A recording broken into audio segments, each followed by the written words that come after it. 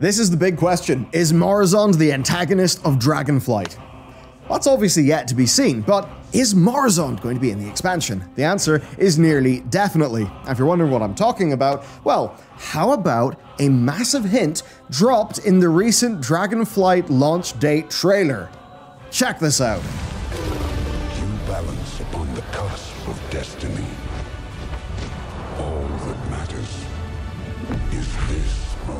And now have a listen to this.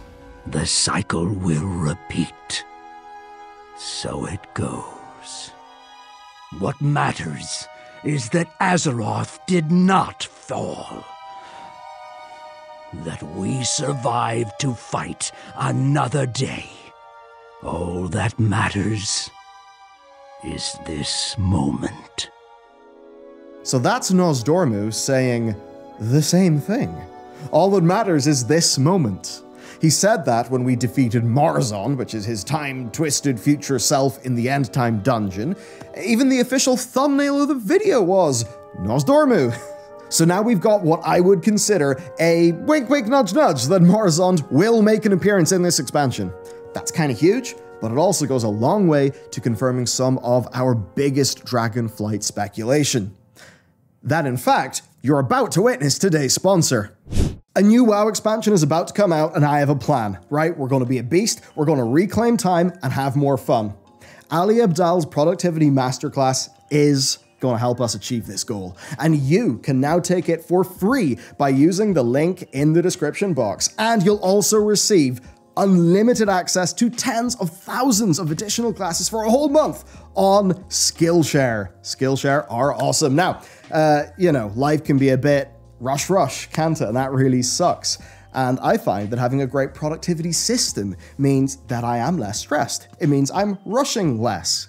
It means I can reclaim time to actually enjoy things, like World of Warcraft.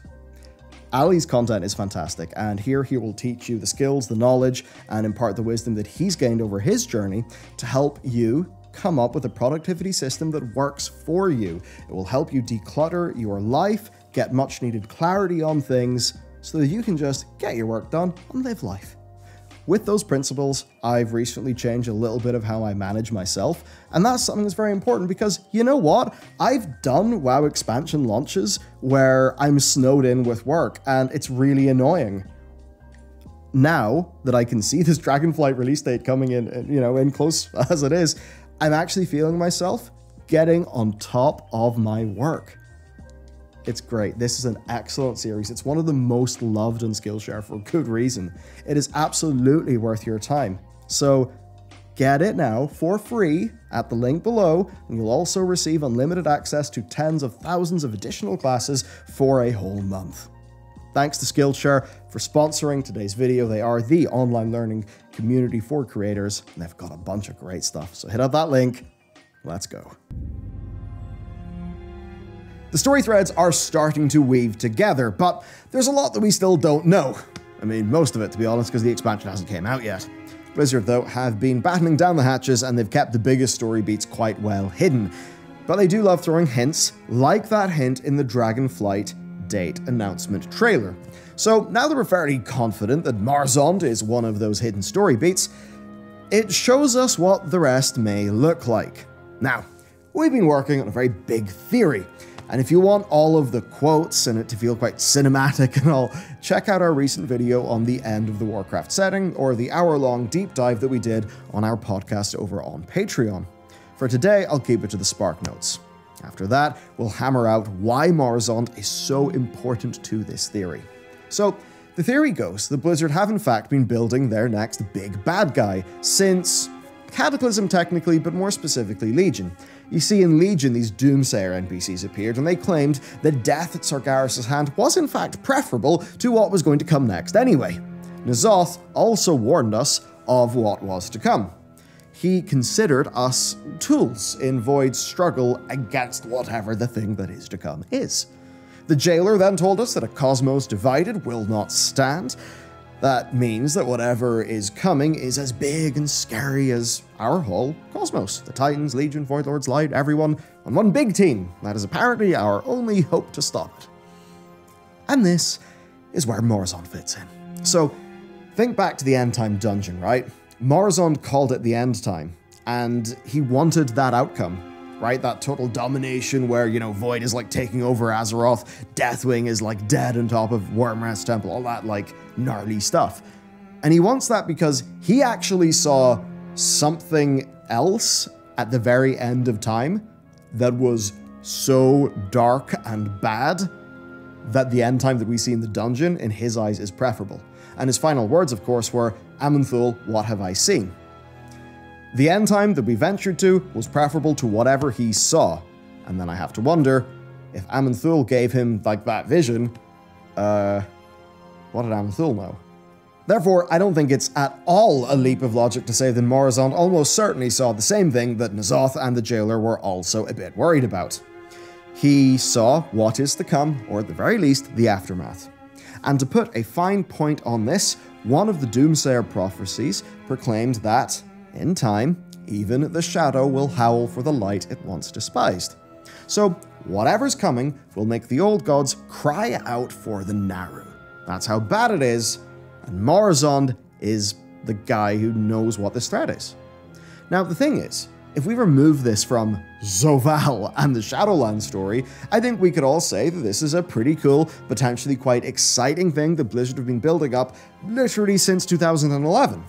Right, a Titan sized mystery, but Blizzard's problem is that they expanded that lore whilst shoehorning in the least interesting villain they've ever had, meaning that they did kind of tarnish a lot of their future potential. Because this threat, as established in Cataclysm and Legion, does have the hallmarks of something that could be great. The challenge, therefore, is for Blizzard to essentially rehabilitate this large threat by, rather than framing it in terms of Zovaal, go right back to the Cataclysm and frame it in terms of what they set up with the character of Murozond. This is where things get interesting then. If we're going to be talking about getting the Cosmos into one big raid group, then Blizzard have got a lot of options for Murozond's return. There's an obvious thing and then the less obvious. So, first off, he's an agent of whatever is to come, right? That's straightforward. There's honestly not much else to say. Murozond is the herald of some weird cosmic evil. He's a raid tier in this expansion, either because he serves an enemy or he is just so hardcore in wanting to stop that enemy that he wants to do some megalomaniacal shit. Right? Now, the big question is will Murozond be just another raid boss who will then be defeated and say, No, what about my plan to stop the real villain? Surely they won't do that for the jailer, right? Besides, it's been like six years of overt build-up since the Doomslayers and Legion. We need something concrete. I think that a genuine, this changes everything moment, like 6.2's Argus reveal and 6.3's finale, is what is needed. So let's try to have some fun with this. We all know Murozond could easily just be the final raid tier. But what if he was not the bad guy? Dragonflight has many potential villains, right? We've got the three primal incarnates that we're yet to see beyond Raszageth, we've got Galakrond, we've got Chromatus, or some sort of new threat. Murozond does not need to be a raid boss. So, what if Murozond was instead our key to understanding the new threat? This is something that is not unreasonable. There is actually a way to make him a fairly interesting villain. I don't know, someone could maybe say in an Emet-Selch manner, you got my drift. The idea that he's not just some mad, mind dominated agent of Void.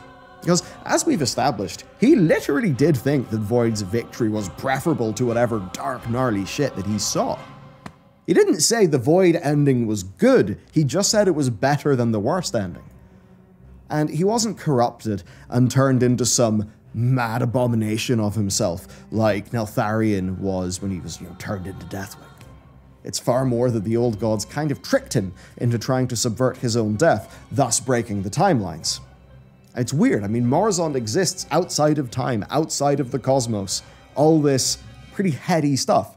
Another thing is that depending on Blizzard's philosophy on how time works, we already know when Murozond dies. Right? They could break that and just say, time travel, it's another timeline, but if it is the case that his true death is in the end time dungeon, then we already know he survives Dragonflight.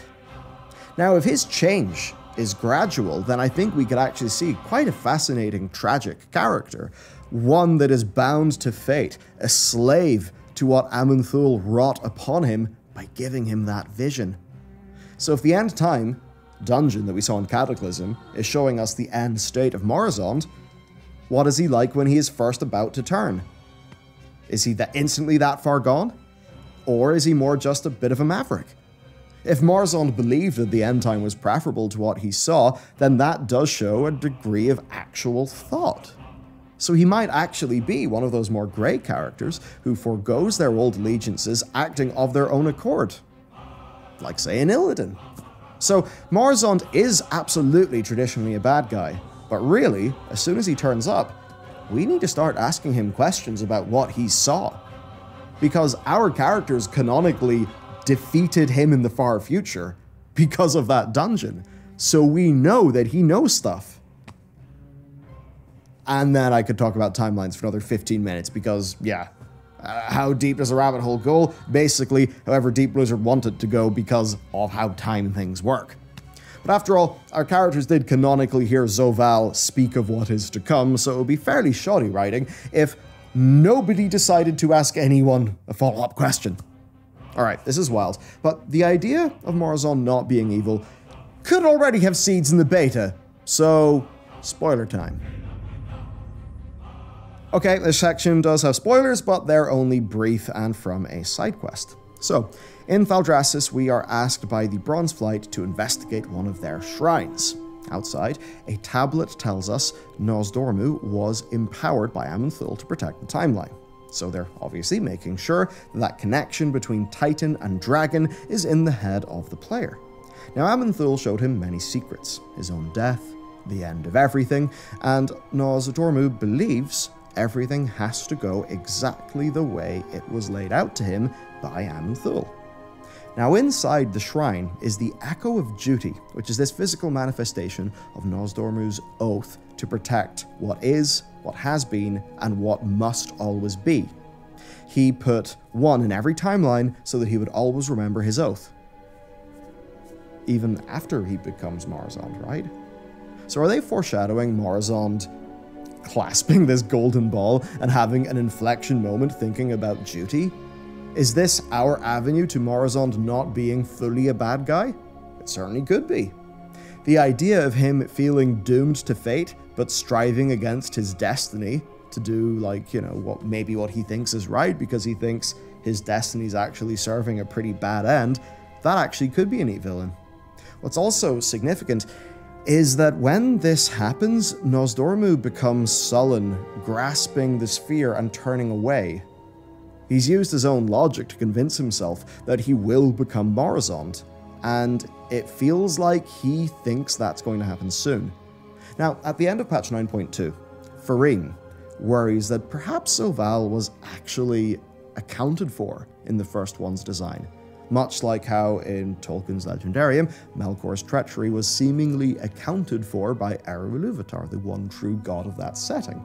Now, the Titans are almost successors to the first ones, I mean, even in terms of their artistic style. So, if Aman'Thul had access to the timelines, then he knew Nozdormu would turn. So, surely, because he empowered Nozdormu knowing what would happen, this is all accounted for. That's a bit spooky. And if all that wasn't enough, Murozond wasn't the only hint in the trailer. We've only talked about Nozdormu's lines. There's more, and I think they speak to even wider speculations that we've had about exactly what is coming. Wrathion's voiceover says that events are unfolding that will imperil us all. Now, Rathian, of course, is always thinking two steps ahead. We've literally seen this through all of his history as a character. So, could he mean this very literally, as in everyone, a cosmos united? Then we've got Ebyssian telling us uh, the threat is greater than we know. It's also key that it's Black Dragons telling us this. They are the warders of the earth. They are arguably closest to the goal of protecting the core of the world. And I think this story of what is to come, and then the story of Azeroth, I think that those things are linked. Through the dragon's connection to Azeroth, we're going to come to understand this. And that's also deeply linked to their purpose. per the Titans, which is what the Primal Incarnates, the immediate threat here, are rebelling against, right? That Titan purpose. They clearly have a different view. Now, Chronicle told us the dragons themselves are descended from elementals, and we now believe that Azeroth created and named the elements. They're going from guardians of Azeroth to children of Azeroth. This is a transformation that feels rather well established in the canon, and the dragons themselves, they've already been questioning giving up their power. They've had a lot of these thoughts about what their identity and how they move forward, like how that actually shakes out. That's been a core part of Cataclysm and the story of 8.2. Now, in uh, Dawn of the Aspects, Kalecgos had visions of the Aspects' war against Galakrond and why they were empowered by Tyr. And then he realized something. Tyr did not empower them because they defeated Galakrond, but because he saw something fundamental about the dragons.